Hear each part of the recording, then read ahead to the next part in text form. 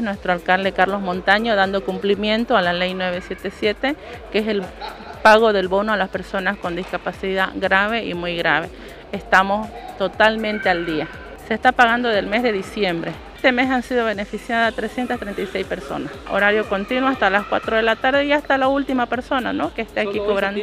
No, vamos a estar atendiendo toda esta semana pagando. O sea, conforme van viniendo a cobrar su bono, vamos a nosotros cancelándole. ¿Cuáles son los requisitos que deben traer los afiliados?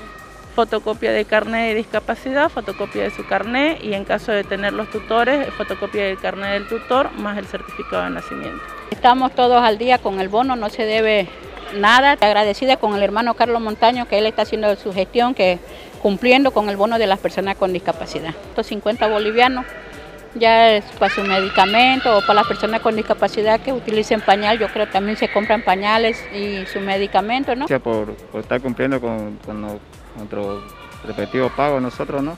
Y que siga adelante, ¿no? Está bien, una ayuda es para cada uno de los que tienen discapacidad. Gracias este, al alcalde que nos da, que, que nos ayuda, ¿no? Carlos Montaño, alcalde.